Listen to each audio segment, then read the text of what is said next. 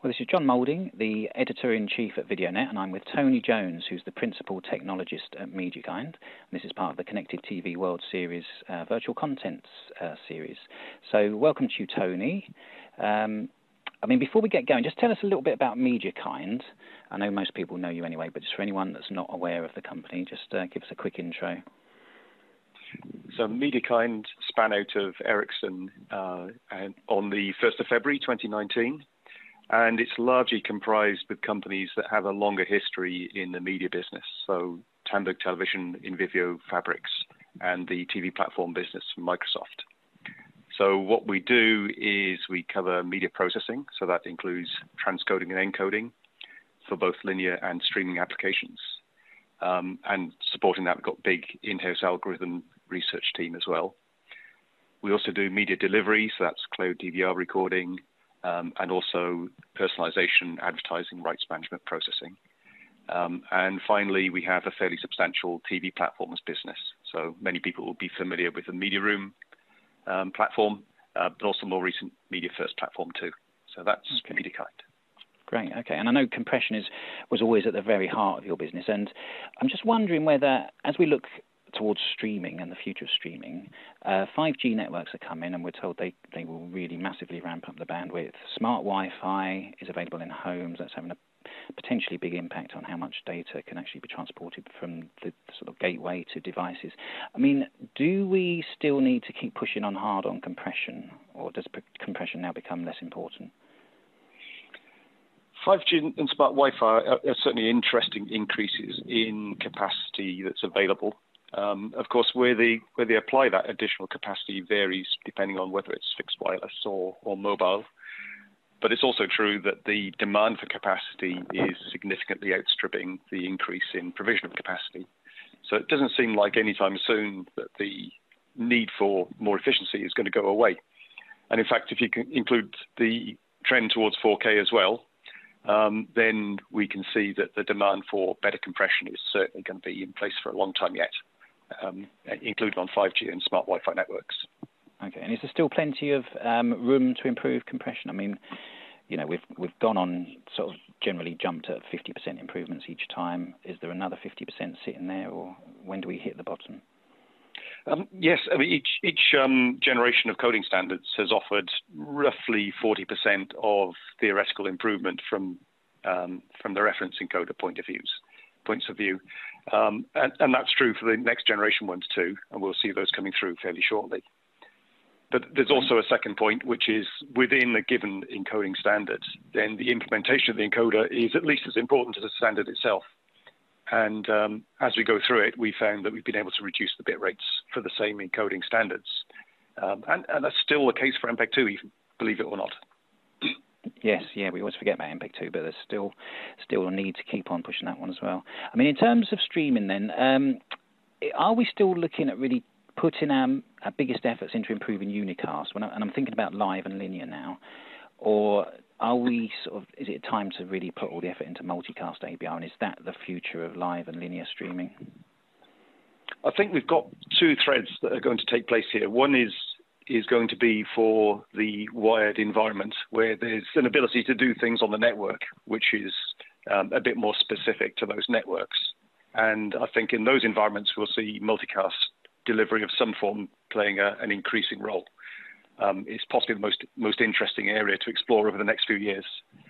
But it's not going to be something that solves all the problems in all the environments. So we've got to live with the fact that uh, unicast is going to be prevalent for handheld devices um, and anywhere where management of the network isn't really an option. So I think we'll see um, probably a, a, split in the technologies used, um, which is not what some people might have imagined, which is unicast solves everything on the planet. But I think we've actually got a slightly more complex environment that we'll be working in. Yeah, I might have imagined actually that everything would switch to multicast at some point, but you, you don't think that will happen? I don't think that'll happen for some technical reasons um, and for some operational reasons. The technical reasons are that on 5G, um, the bandwidth efficiency for multicast isn't as good if you're going point to a single point as it would be for a unicast delivery for some detailed RF reasons. Um.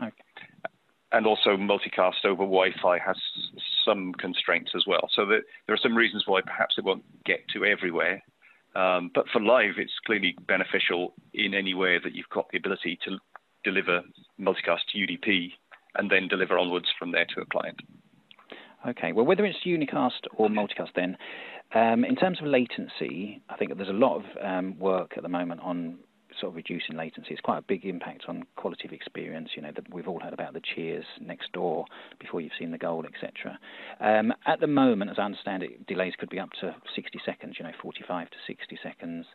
Um, you've got a solution that gets that down to three to seven seconds, which you introduced last September, I think. Um, I mean, what have you actually done? Okay, so there are two aspects to what's changing in there.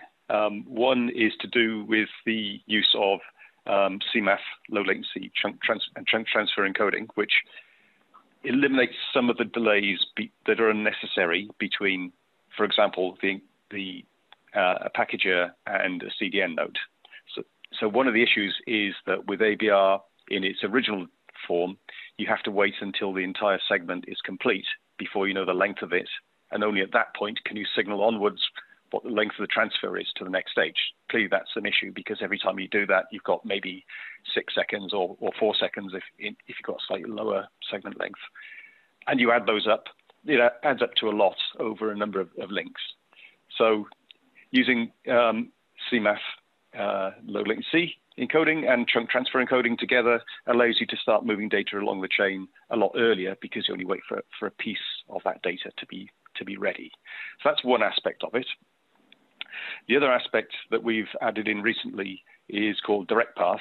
And what that's doing is changing the way that the data is connected from the encoder to the packager stage. Traditionally, we would have turned that into a multi-rate, constant bit rate type uh, connection. So it deli- gets delivered in real time as if it was going to the home. Uh, however, with direct path, what we do is we move the data as soon as it's available. So as soon as you have a big I-frame's worth of data, it can move straight to the packager. Um, and that allows you to eliminate a fairly significant amount of, of latency from the system as well. Um, of course, neither of those de- deal with the client end of it, which is the rest of the delay, but th- between them, they're quite a significant benefits in terms of reductions. Okay, and in, and in terms of what content owners and operators are asking for, is three to seven the sweet zone? Do we need to get below that at all, or are the plans to go lower? I, think there's always somebody going to ask for a lower latency than um, is currently the, the, vogue. However, the reality is that anything below about seven to ten seconds is going to be of the same order as a, uh, a broadcast type delivery, and it's also um, enough time that uh, it's, it's, a short enough time that nobody's going to be able to have dealt with um, sending a Twitter feed and provided some data direct from the venue. Um, it, and for that to have got to the consumer faster than you've seen the, the content through the streaming path. Yeah, okay. I mean, last year at IBC, the DVB had this big showpiece on their stand, which was really their sort of look at what the, the post broadcast world would look like. And we all know the work they did to sort of make the sort of the DVB-T uh, world happen, so digital broadcast. Um, and it involved multicast ABR, low latency streaming, and also service discovery uh, capabilities. And their sort of mantra is obviously interoperability, and it always has been. Um, for example, multicast ABR, you'd have the server, encoder, and client manufacturers could all be different. I mean, do you think we need that kind of interoperability and that standards push in this market? I mean, you know, it is working. We know that. Uh, lots of people have end-to-end solutions and they work great. I mean, you know, there's a market out there. Do we need it, and do we need it at this point? The, I think it's what's always desirable to have agreed standards across the industry, and that's that's definitely the pre- preferred outcome. It's always been our company's preferred outcome uh, across the board. The need to try and get a low latency but scalable solution for streaming is something that needs attention across every step along the way of the, the, part of the chain, and that includes the operator stage as well. And at the moment, uh, that appears to be missing as part of the, the consideration for the DVB work. um, if that can be resolved, then maybe we can get to somewhere that could be used um, ubiquitously. But right now, there are some proprietary st- stages within that overall network, which means it isn't genuinely going to be fully open. And I think this, this is going to be some of one of the areas that we're going to have to look at if we want to migrate it to a more standards-based approach. Um, and we should also consider the fact that there's a little bit of a contradiction between multicast ABR and low latency as well, because a multicast ABR stage inherently adds some latency that you didn't want. So there is a bit of conflict in, in here, um, but it would be good to get to an answer on that one. Yeah. What kind of low, uh, what kind of latency does multicast ABR add in? Are we talking seconds or tens of seconds? In in its original format, which is the CableLabs version um, that came out of the US um, markets, it would typically add one to two segments worth of latency um, additionally within uh, the, the, pipeline. Now, it's possible that could be reduced somewhat because of the um, chunk transfer encoding, um, but it's, it's, definitely going to add latency where you didn't want it. Um, yeah. And, and, as we know, you know, the segment is that sort of six to ten seconds. A, a segment would be six to ten seconds. That's right. Yeah. okay. and one of the things that we, we always need to bear in mind is that the scenario where latency is most important happens also to be the, the same environment where the scalability is at its peak. In other words, it's a big sporting event with lots of people watching it. And at the same time, it's high value content and so has, has the highest expectations in the quality of delivery. So solving parts of the problem really doesn't get us to the full picture. We have to be able to solve all of those concurrently um, and for the big screen primarily because that's where the high value content has its most value. Of course. Okay. Well, let's talk about CDNs then. Um, they are obviously in the front line in terms of the capacity challenge. Um, is there a way that we can increase their capacity and reduce their costs? I mean, ideally do both. Are there any step changes coming in terms of CDN efficiencies, or is the best we would hope for incremental improvements, of, you know, small steps? There are a couple of um, significant changes that will help that for sure.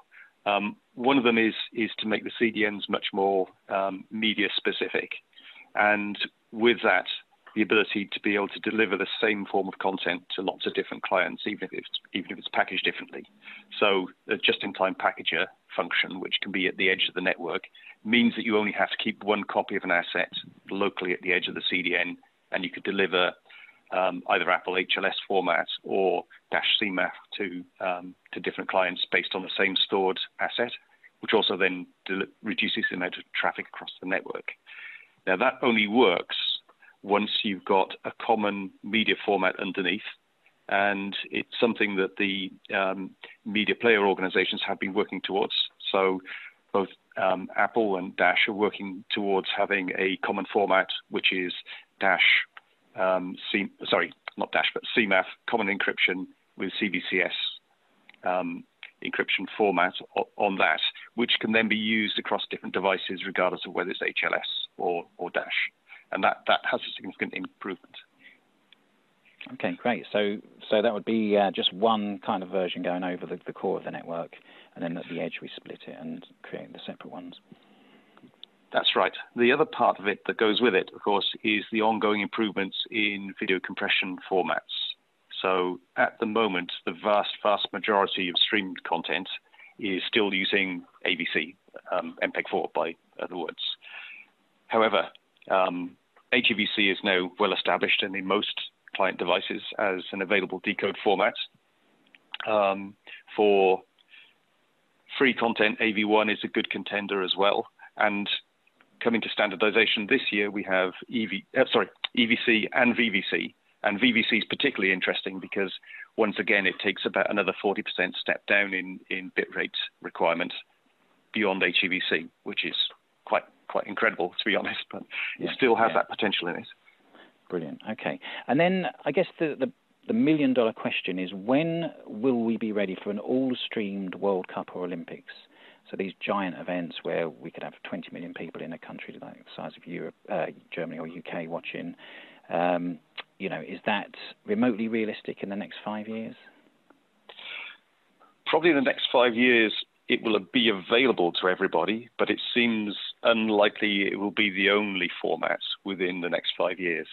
Um, mainly because the ability to do a delivery at scale to a large number of people with a great great expectation um, of quality um, and low latency doesn't look like it's all going to happen and be ubiquitous within five years.